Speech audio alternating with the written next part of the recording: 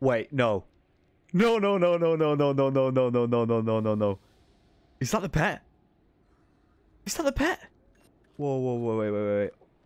Never is that the pet. Oh my fucking god. I need to get out of here. You have to be kidding me, please. Oh my god, the way people are gratzing, I think it is. We got the Helwyr pet. Lil Wire. oh my god. That's my first. Oh, that's my first boss pet. Oh shit. Oh, we need to check this out. Oh my god, my heart is pounding. That's amazing. I can't believe I've just got that. What is the kill count? 53 KC. I don't even have any of the, like, the, the drop enhancers through the reputation or anything. Holy shit. I just caught up with the winner of the bottom from the last episode, Purple Ones. Congratulations, dude, and enjoy. There's 86 attack just coming in on this uh, Helwyr task here. Stole that adrenaline. Didn't unlock anything for that, but nice. I've decided to start training um, attack and strength at the same time now, so the levels should be like pretty close. So total loot for 14 Helwyr kills was 2.1 mil and the pet.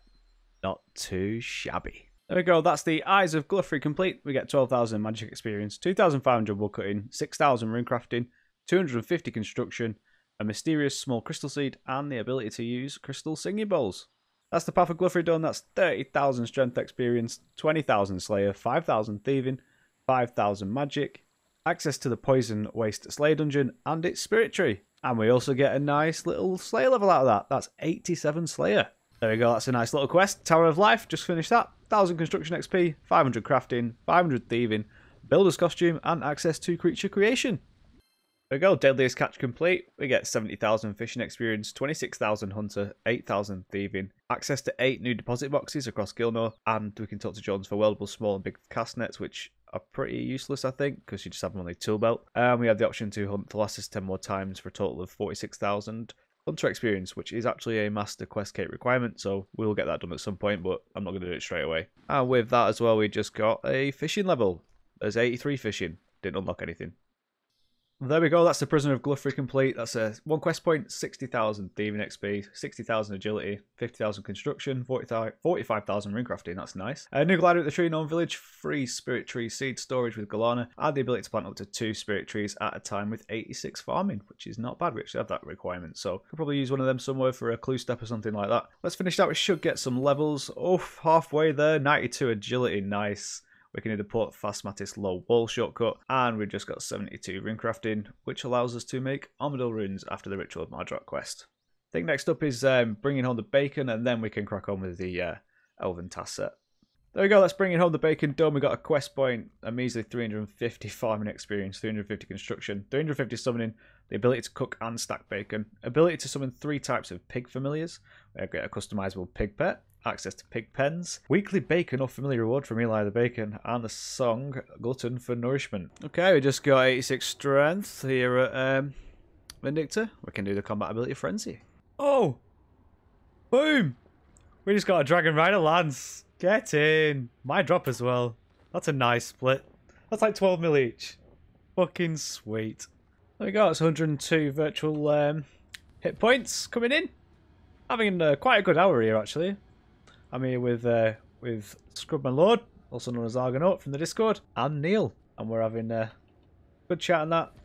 Enjoying a bit of Vindicta. It's so easy in a trio. We're getting like probably 25 second kills at the most. Like we'll just, um, for example, run you through one now. Sure, I overload. Just see how disgustingly quick this is. Really nice. If you get a group for this, it's it's it's very chill. You just need one guy to tank with melee, and the rest probably just range. We'll put down our death swiftness here. Take our ring of vigor off. We'll just work at it, building up some adrenaline. I don't have any adrenaline pots. I really need to get some, but hmm, not too bad. There you go. That's a kill. pretty, pretty, very fast. Very fun. That's our hour up, and we were just short of 8 mil in total loot. Let's chuck in the Dragon Rider Lance. Oh, 44 mil. I'm going to sell all this now and split it up.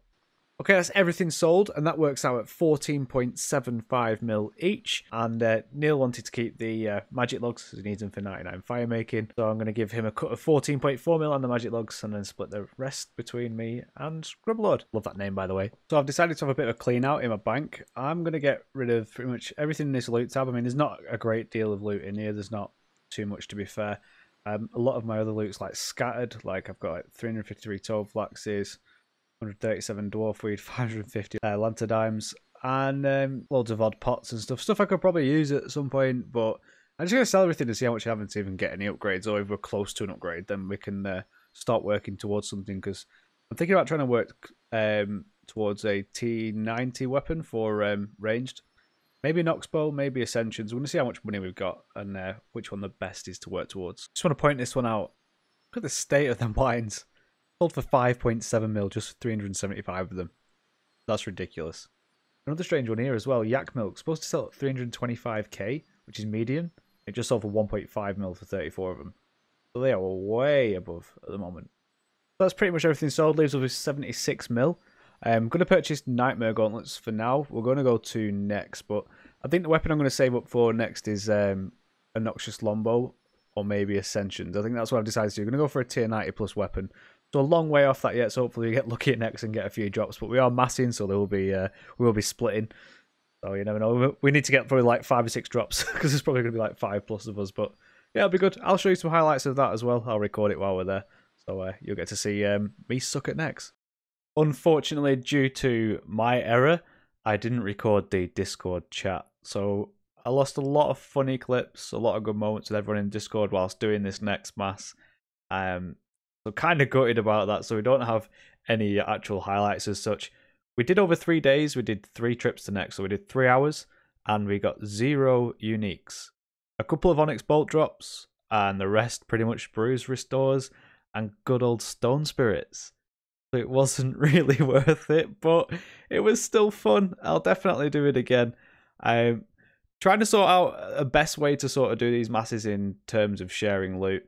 It's quite difficult with so many people. Um, I think in future we're just literally going to stick loot share on and then split the main drops, as um, that's probably the most fair way when I come to think of it. It's quite it's quite hard doing three hours of Nex and not seeing any drops if you've got bad LSP stuff like that. But it's kind of the the, the best way to do it. Thinking about it, because I thought about coin share and stuff like that. But yeah, we're just gonna stick with loot share in future. Where you can see my um, horrific uh, attempts at these kills here. It's a good job I had six, seven other people with me, because I'm sure of hell would have struggled on my own or doing it in a duo or a trio. But we managed to get the kill down every time and did uh, pretty quick kills. Some people had quite a few deaths, but it was funny. It was definitely worth doing. Like I said, 100% will go back again. And a big thank you to everybody who attended this event. I really appreciate it. And if you want to be involved in future ones, just join the Discord, link below. We also went and did a little KK mass as well. And as you can see below, Antonin got a offhand Drygore Rapier. Not a bad drop. There we go, 92 farming. Halfway there to 99. And best thing about this now is we can raise and breed dragons.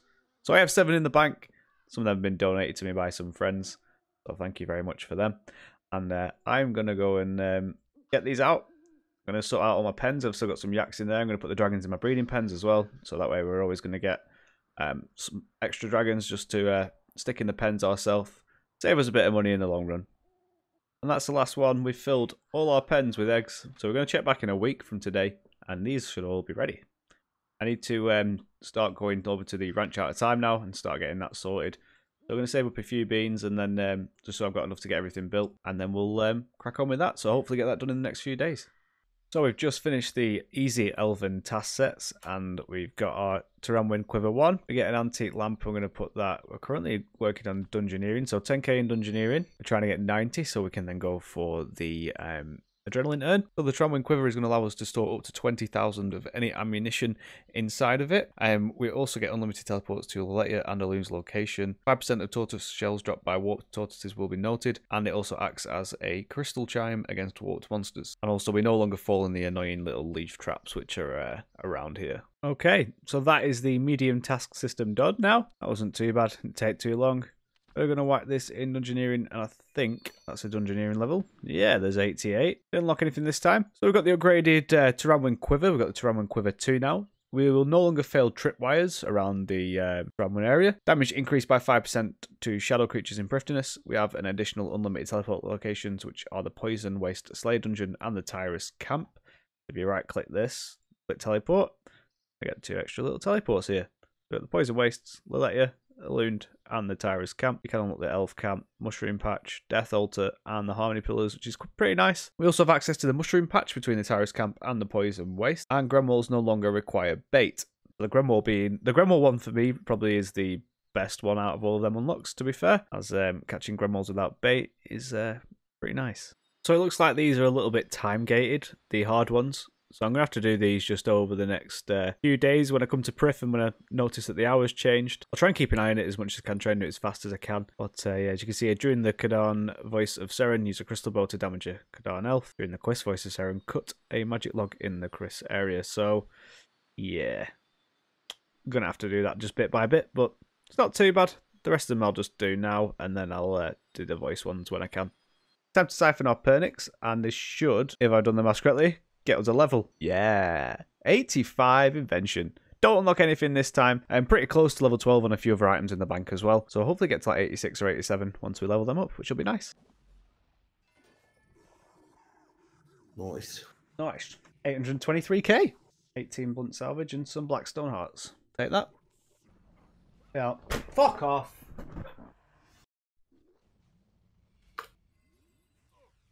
Oh, I ran into the wrong. Bam. Hey, I picked up someone's bolts. 165k didn't pay for the 2.4 million deaths. Such a fucking noob. There we go. Death to the Dorgeshuun complete. That's a quest point, a 2k combat XP lamp, 2k thieving XP lamp, access to the ham storerooms, and access to Dorgesh-Kaan. Going to start working through all of the um, Goblin quest series now. Try and get all that done, and then we'll move on to the Mighty Fall. Now, hopefully, we'll be able to then teleport to God and it's just going to make things much easier there. Can do proper Nex runs then, which would be super fun. Can start learning that boss because it, uh, for the few uh, hours I did of, of a mass, it was really fun. And that's the Giant Dwarf complete. We're going to get 2,500 crafting experience, 2,500 mining, 2,500 smithing, 1500 firemaking, 1500 magic, 1500 thieving, the ability to complete tasks for a dwarven mining company, ability to use dwarven minecarts, and access to members' gravestones. The reason we're doing that is because this is a prerequisite quest for another slice of ham, which we are going to get on with next. We got a classic villain with a hostage on the train track situation. That was a pretty fast quest. Another slice of ham done, 3000 mining experience, 3000 prayer experience. We got the ancient goblin mace. We now have use of the Dorgesh-Kaan to Keldagrim train route and the ability to buy Goblin Village teleport spheres from Oldak. Yeah, that was a nice little quest. Land of the Goblins done. 3000 agility experience, 3000 herblore, thieving, fishing, strength, 2000 prayer XP, ability to buy plane of mud teleport spheres, ability to make goblin transformation potions, and the ability to use the altar in the Goblin Temple. Not bad. And we've also just passed 225 quest points, so we can go and visit May and get another little reward.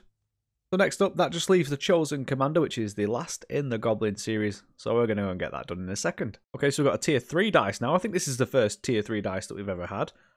Let's roll it and see what we get from this little bad boy.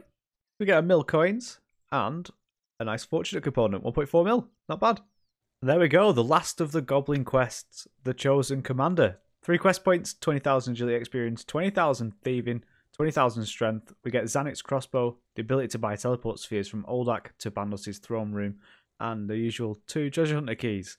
I did enjoy that quest series, it was pretty nice. This kind of sets us up now nicely for the next episode, where we'll be looking at doing the Mighty Fall, which is just going to give us nice, easy teleports to God Wars Dungeon. Makes Nex runs so much better, so we can start getting into a bit of Nex, doing some duos and trios with friends, and hopefully getting some good drops, and then we can start upgrading our gear. I really want to get some tier 90 weapons and uh, maybe upgrade the subjugation robes to Virtus. So that way we've got a minimum tier 80 power armor for all three styles. And while we're here, we're going to commit to learning the Goblin Technology Tree line for Invention. This is going to give us access to the Oldak Coil, and it's going to give us access to, I think, the Monkey Mind Control Helmet as well, which is uh, basically a free butler for your player-owned house. So makes construction a little bit cheaper. Let's just look at some good ones here to point out. Um, the Mechanized Chinchompas, a bank stander, which is a consumable device that generates charge whilst you're stood in a bank area. Uh, the Monkey Mind Control Helmet, as mentioned before. Electrified box traps used for Hunter. And the Oldak Coil. So each day you basically get different tasks over on the notice board here. I'll just show you here. This is it. You click tasks, select which one you're doing. So we're currently doing Goblin. And our task for today is to hand in 80 simple parts. We select that. And there we go. Congratulations, you completed the task. You've been awarded 15 Goblin currency. And obviously we go over to the technology tree line here and we have 15 currency. We're going to need, so we could unlock these straight away. Um, pestiferous components allows you to use pestiferous components on a gizmo. We'll just purchase them straight up because I want to complete all these. And uh, the next thing we're going to go for is the mechanized chin chompers. So we'll come back here tomorrow, make sure we keep up with this little daily, and we'll fill all that tree out and unlock all the cool things. Let's pick a bond winner from last episode's giveaway. And let's see who's going to win that coveted bond. 98 unique commenters. Wow, so much response on that last video. I really appreciate it. But our first winner is Sean Hudson. All right, you convinced me to finally try Vindicta. Love your videos, man. Your RSN is Cools421. Congratulations. Add me in game, and I'll add you, and I'll sort you out with that bond. As always, guys, this episode is a giveaway, so do comment down below with your RSN. Say whatever you want. Tell me what you've been up to, and you could have a chance to win a bond in the next episode. And that pretty much wraps up this episode. I hope you enjoyed it. If you did, give the video a thumbs up. Don't forget to join the Discord channel. The link to the server is below. We do plenty of events in there, plenty of people that are really nice, helping everyone out. So if you ever need any advice, help with the game, anything like that, just ask in the Discord, and there's always somebody to help you. And if you're not subscribed, do think about clicking that subscribe button, and don't forget to hit the notification bell. And I'll see you in the next one. Peace.